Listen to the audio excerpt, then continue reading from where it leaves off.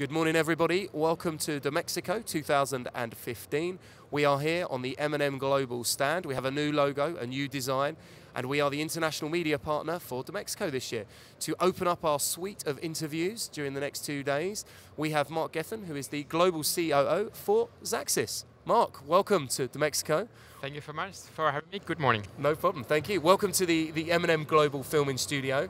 I suppose we should start with, we're in September now, we should start mm -hmm. about what has been the, the, kind of key trends and, and drivers, if you like, for programmatic over the last 12 months? Yeah, I think the, the last 12 months were for us an exciting ride. Uh, we grow our business tremendously and mainly in the video space. So what we've seen, especially in 2015, is that programmatic finally came to video. It started in display, we grew in display, which was quite a performance thing, but now it's all about video, it's all about branding, and we do see a shift, a tremendous shift of budgets uh, from a branding perspective coming into, into video.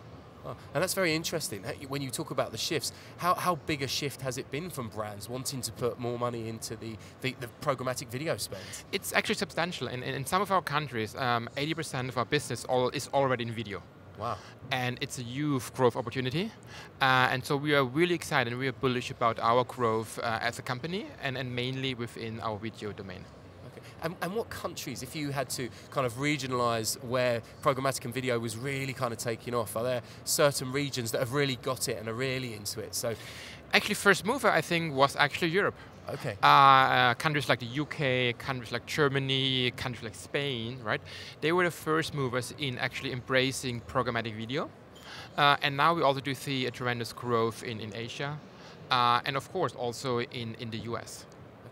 And are there any particular genres of brands that get it more than others, i.e., kind of sports brands or FMCGs? Who are the? Are there, is there one particular real driver? I mean, we, we see the usual suspects, right? And yeah. that's automotive, that's uh, FMCG, that's uh, telco, and, and finance, and to some extent travel. Those are the, the industries, uh, and, the, and and yeah, the industries that, that drive, I think, uh, our industry in terms of what should come next.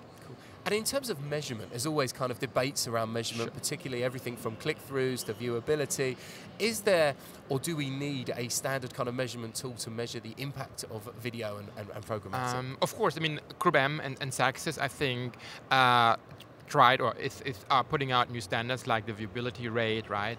Uh, challenges that we see in fraud. But I do think that's, I hope, just a short-term problem. We just need to be uh, basically clear out the, the black sheeps. Uh, and I think GroupM and Xaxis, we are doing, doing uh, quite a lot in that area. And then I think next year we can really focus on proper questions like what is the impact of a video campaign versus a TV campaign, right? Um, what about um, attribution modeling and, and, those more sophisticated questions of measurement? Uh, I think we are just a little bit right now distracted by all the uh, viewability conversations. They are important and we need to solve them and I'm, I'm very confident that we will solve them sooner or later. And then we can really go into the questions about what's the impact of, of video, what's the impact of a 30 minute second spot in TV versus video, and those questions, which then will help us to actually demonstrate the value of programmatic video, and we'll see uh, even further grow in that space. And I suppose that ties us beautifully into kind of TV and video convergence, yeah. which we've seen a lot of recently, yeah. and, and, the move of programmatic into into television. Yeah. How, how far away do we do we think we are from that kind of programmatic moving into mainstream TV? I think I think everyone is getting ready. Uh, and I do think by, by 2016 we will see the first campaigns where we actually do uh, yeah, cross-channel programmatic um, buying, planning, and, and execution. Wow. And, and one of the biggest arguments about programmatic and TV has always been premium ad spaces kind of being devalued. What, what, what would you say to, to, to that? I mean, from a second perspective, we always uh, were eager to establish great relationships with premium publishers, right? We're not really so much into open exchanges. Uh, one of our uh, assets is actually the direct relationships that we have with publishers. And that actually pays out it pays out in terms of the quality of content that we can provide, in terms of things like viewability, we just discussed, right?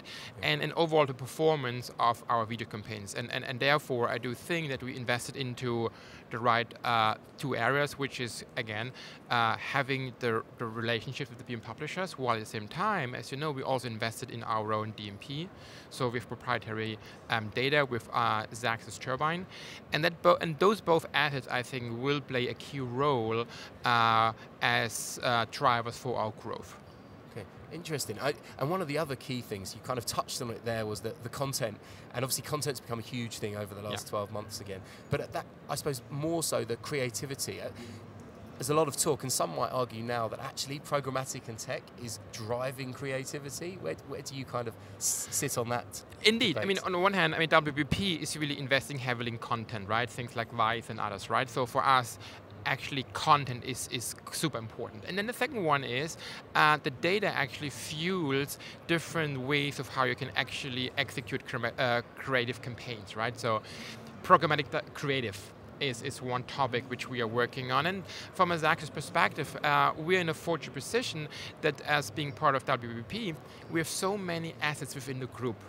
Our creative agencies, right? Yes. So there's a tremendous uh, potential for us to, in that area, to, to grow our business, to work together with our friends uh, uh, in the creative agencies, and yeah, just to, to join forces. And that's uh, that's great that uh, we are right now going into that area. Yeah, indeed, and I think that's you know there was a lot of resistance from the creatives back in the, the kind of three four years ago, and now I think they realise actually you can get such super hyper targeted information. Yeah, and it's a huge, huge opportunity for them, right, to grow and and and so working together with these guys makes me really excited. Good. And what do you see? We talked about television and programmatic starting to kind of get to the point where it- it's going to start to work. What do you think is going to drive 2016? If there was one thing that you think actually that's going to make the difference to programmatic in 2016, what would it be? Um, again, I do think that we, by 2016 we've done our homework. And all the questions about viewability, fraud inventory, I think should be actually sorted out. And then we can really focus on what performance do you actually get out of programmatic video? And what's the return of ad spend? Right. and how you can demonstrate that you actually do see uh, a, a high return of investment. And just actually this morning, uh, already had a meeting with a, uh, a distribution model company, uh, and they do exciting things, and they can actually demonstrate that programmatic is actually much undervalued in terms of the performance that it can deliver. And I do think that's the conversations we are going to have in 2016, which allows us to even grow further. Okay, that's very interesting. People kind of undervaluing the, the, the value of it, which is Yeah. which is quite surprising Yeah. now because you think most people are starting to understand it because you see some brands are obviously trying to take programmatic in house. But do we, do we think that is something that would only happen to those global brands that have multi-million pounds to spend on advertising? I, I do think so, and even in that case, I would doubt it that they will do it in the long run, because programmatic is really is really sophisticated, data-driven campaign planning and optimization. It's a lot of work, right? Yes. And you need a lot of manpower to do that, uh, and that's why, for example, that's what, what the agencies do, right? Yeah. Uh, and if you think about it, actually, programmatic is a huge opportunity for our agency. Think about the conversations about walled gardens, right? Uh, if you have a walled garden like Google and another one like Facebook, yeah, you have to have someone who's managing those walled gardens, right? Yes. And that is a big, a big task. And, and I think the agencies are ready or will be ready to actually do that. And I don't think that the that the client should in-house that. I think that they should continue to rely on agencies who do that for a living, right? And can do that really, really good. So actually, I do think that um, although some agencies might be a little bit concerned about uh, their their um, growth opportunities, that they will see, and we see it within GroupM, right? That there are huge, huge opportunities to grow. Wow. So almost you could see programmatic trading desks being the savior of the, the new modern agency. You can say so. I mean, from, from a Xaxis perspective, right? We never were a trading desk, right? We Yes. see uh, ourselves as a programmatic media provider to the agencies, right? Um, and and therefore, I think there's a great um, uh, uh, le- uh, world where the agencies provide their services in programmatic buying, in optimization, in analytics, while we are providing audiences in Yes. a programmatic fashion and media in a programmatic fashion to those agencies. And actually, as a matter of fact, we have started to um, grow our direct business uh, with non-WPP clients and non-WPP agencies outside of GroupM, uh, and it's it's it's it's really uh, ticking up, which sees means that there is actually really a big demand for access of high quality performing uh, programmatic, programmatic access to audiences and media. And so seeing both playing hand in hand, uh, and we've launched GroupM Connect, right? Yes. which again uh, is, is fantastic for, for Xaxis, how we can work together. Uh, again, makes it really positive about 2016. Absolutely. And what, what do you think will be the biggest challenges for 2016 and, and beyond for programmatic? What's going to be the, the hardest thing? What, you know, I remember I, I, I, remember sitting on a similar chair yeah. at DMEXCO, I think about two or three years ago, and I got the same question. I, and, and my answer was, and I think it holds true today, is that we are moving so fast, right? Uh, and sometimes it's good to take a deep breath, right? And, and just focus on what we already have. We don't need every single month or a single quarter the next sexy shiny object. Let's focus on what we do right now and do it better so that we actually can really sort out things like viewability and others and, and really double down on what capabilities we right now have and apply them in the best possible way as opposed to just jumping to the next thing, right? And not doing what we already do perfectly. So let's try to uh, slow down for a moment, do better what we do, uh, and then we will automatically see even more growth coming down the horizon. Fantastic. Well, it's great to meet you, Mark. Thank, Thank you much, you Jeremy. for being our first interview. Thank uh, you so enjoy much. the rest of your DMEXCO I will experience. definitely do, and so you do, should you do. Thank you very much. Thank you so much. Bye bye.